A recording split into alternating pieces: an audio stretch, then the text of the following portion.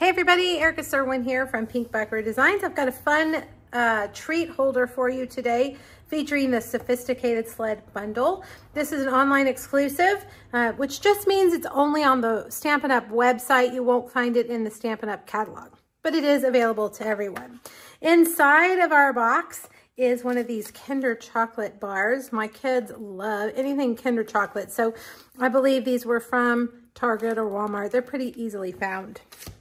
All right, so the Sophisticated Sled uh, bundle allows you to create a sled either by stamping or by die cutting. Um, so we're gonna do both. I mean, we're gonna just do the stamping. I've done both. You can hop back to the other projects and check them out. Um, I've got two others that have the die cut sled. All right, so let's start with our stamping. You're gonna need a piece of basic white and we're gonna ink this up. And you know what? Sometimes when you have a photopolymer stamp, let's see, do I have my foam mat? When you have a large photopolymer stamp, sometimes it's best to use a foam mat underneath. Just depends on your work surface. Um, I am, underneath here is a just a hard cabinet, so there's no give to it. So I find that I need to put a mat under there that kind of replaces you know, a little bit of that foam that you would have on a red rubber stamp. You can use a piercing mat, you can use a piece of fun foam, but just if you're ever having trouble getting a solid image, with your photopolymer, which is the clear, try adding a piece of foam underneath. All right, then we're going to stamp the wreath also. Okay. And look at these colors I'm using. Aren't they beautiful? Pecan Pie, Moody Mauve, and Old Olive. I just love this color combination. I'm going to start with my light Pecan Pie. And I'm going to color in all the little wood pieces of my sled. And it's going to take me a minute or two to get it all colored in. Um, it's not it's not difficult. It's just a bigger space. I'm using the bullet tip end of my marker. You can use brush tip end if you want. Um, I just prefer the bullet tip end, usually for detailed areas like we're gonna use on the wreath. I really prefer that bullet tip end. But for bigger areas, let's switch over to our brush end. I feel like it can cover more space, but I am more likely to get out of the lines with a brush tip. So play around with yours, see what your preference is.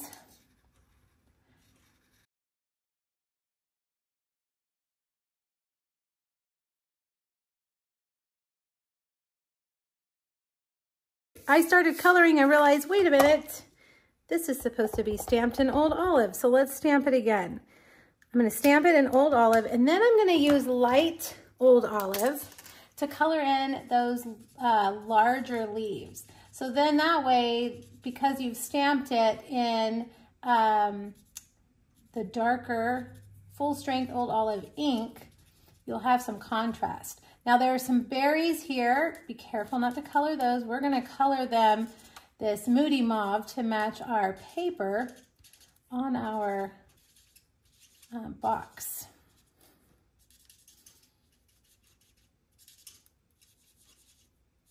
All right, get all of those colored in.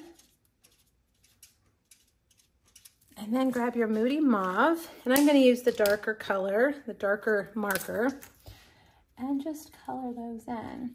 Now, if you're using different paper, of course, use the markers that will match. I'm just, I really wanted to use this new Iconic Celebrations Designer Series paper. So I chose to go with Moody Mauve since that's what's in our paper. All right, so now grab your dies. And because I spent so much time coloring, I definitely don't want my dies to slide around. So I'm gonna use a little bit of post-it tape to hold them in place right here. That way I just, you know, would hate to have the die slip and then have to redo it. Now I'm gonna tell you that this this little die is a little bit tricky and you really need to just keep turning it slowly until you see it um, line up exactly where it needs to be. And you can even, if you don't want to have to do this every time, you can, there we go. Mm, nope. You can make a mark on your die and your stamp so that when you stamp it, you'll know exactly where it's supposed to be. All right, once you get that in place, take that down and let's bring over our cut and machine and cut these guys out.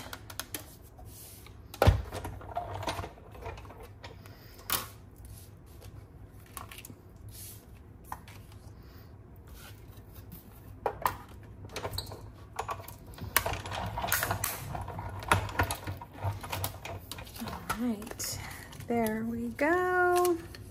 There's our sled and our beautiful wreath. And then ahead of time, I cut the label already for you. We're gonna stamp that in Moody Mauve.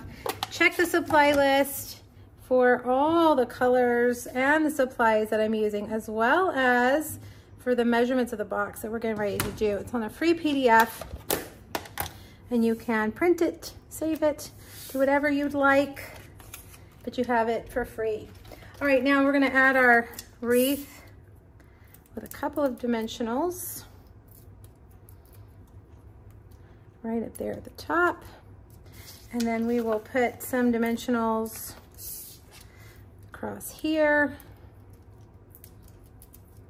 Actually, you know, one thing I think I did is I cut the wreath in half so that it would be a little bit bigger. You can cut it in half and slide it down, but you know what? I don't know. I don't think we really need it. I think it's just fine like that. Okay, now for the box. You're gonna want a piece of Moody Mauve that is five and three eighths by eight. On the long side, score it at half, three and three fourths, four and a fourth, and seven and a half on the short side, score it at half an inch and five. And let me look at my notes. I have the wrong measurements. Five and three eighths. So we want to do four and seven eighths. All right. Now, grab your bone folder. Burnish those lines. Get them nice and crisp. This is a very simple box that will open at the top. We're not going to seal it closed at the top. The ribbon will hold it closed. All right, grab your paper snips and it's um, symmetrical on both sides. So it doesn't matter which side you pick. Just cut off one of these corners. All right, cut the corner off and then you're gonna snip the other score lines.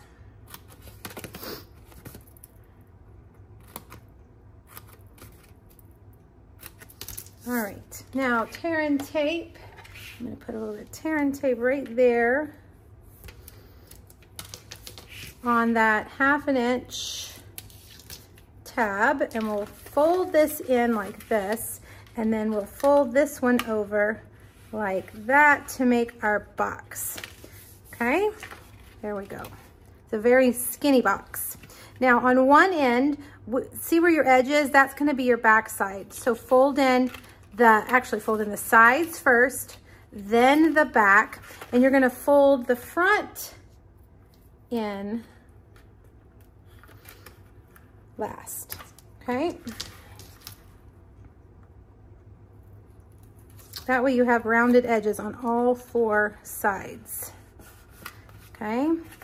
Let's get that bone folder and really stick that down. We want to make sure that adhesive takes. All right, then slide your box in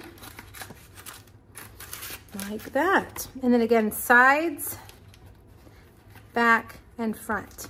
Now before we uh, seal it up, let's get some adhesive and put on this piece of designer series paper. Looks like my paper is a little bit too big, so let's trim it. Do I have a trimmer? I do. Gonna have to double check my measurements on that.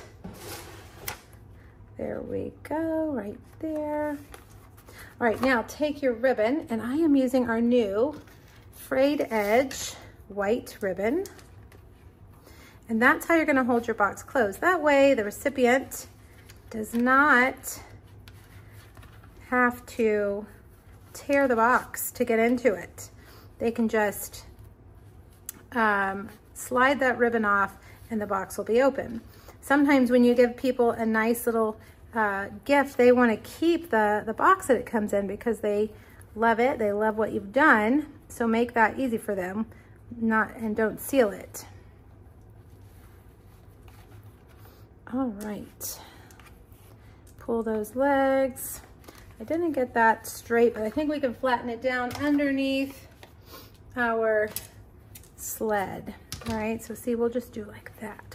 Sneak it and make it, we will make it uh, flat.